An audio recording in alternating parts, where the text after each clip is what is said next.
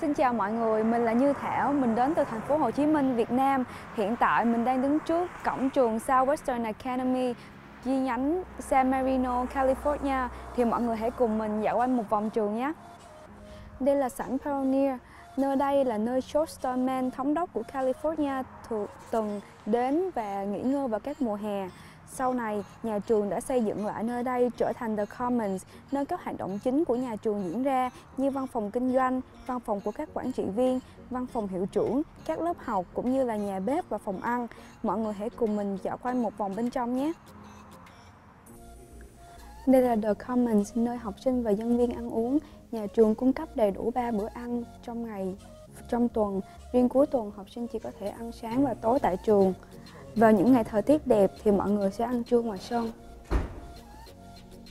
Lầu 2 là nơi dành cho các phòng học cho một số lớp như ESL, sinh học, văn hóa thế giới, tiếng Tây Ban Nha và kỹ năng nói chuyện trước đám đông. Mọi người có thể thấy tất cả lớp học ở đây đều rất nhỏ, tạo điều kiện thuận lợi cho giáo viên và học sinh có thể trao đổi với nhau nhiều hơn. Đây là sân thể thao, nơi mọi người học và chơi bóng chày và bóng đá và có cả sân tennis nữa. Lễ hội âm nhạc và lễ hội Lua, một lễ hội đặc biệt của trường cũng được tổ chức ở sân này vào mỗi cuối năm. Đây là sảnh Lincoln, tòa nhà đầu tiên được xây dựng từ khi trường vừa thành lập vào năm 1924. Các học sinh sẽ có chỗ ngồi nhất định trong hội trường. Mỗi ngày mới ở trường sẽ được bắt đầu bằng một giờ sinh hoạt vào mỗi buổi sáng có các hoạt động cũng như bài thuyết trình cho đội ngũ nhân viên nhà trường thay phiên nhau sắp xếp. Sân khấu được dùng cho các buổi diễn nhạc và kịch. Ngoài giờ sinh hoạt buổi sáng, học sinh sẽ tập trung tại các sảnh tại sảnh này vào giờ tự học. Dọc hai bên sảnh là phòng tư vấn, phòng quản lý học sinh cùng các lớp học như lớp toán và tiếng Anh. Tiếp theo chúng ta hãy cùng xuống lầu nhé. Đây là một trong những văn phòng quan trọng nhất của trường, văn phòng tư vấn đại học. Các học sinh, đặc biệt là lớp 11 và lớp 12 đến tư vấn rất nhiều nhằm chắc chắn hơn về quyết định trong tương lai của mình. Đây là thư viện của trường, nơi đây cũng được sử dụng làm phòng học cho các học sinh. Xung quanh thư viện sẽ là những phòng học như là lớp tiếng Anh, lớp tinh học, lịch sử và cũng như là phòng thí nghiệm hóa học. Đây là một trong những khu ký túc xá của nam, ký túc xá của nữ không nằm trong khuôn viên của trường. Bây giờ hãy cùng đến với phòng gym nhé.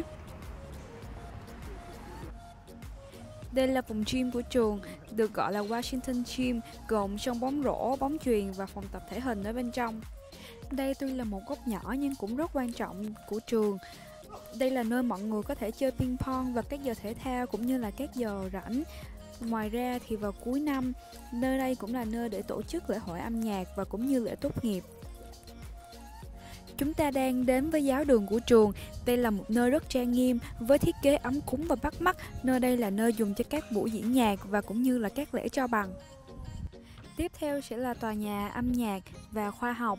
Đây là phòng thí nghiệm vật lý và phòng âm nhạc với rất nhiều loại nhạc cụ khác nhau. Đây là studio mỹ thuật và phòng truyền thông. Học sinh có thể sử dụng máy in 3D cho các sản phẩm thiết kế của mình.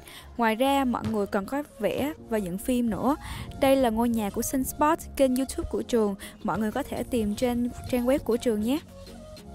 Bây giờ chúng ta đang đi đến với phòng âm nhạc của trường.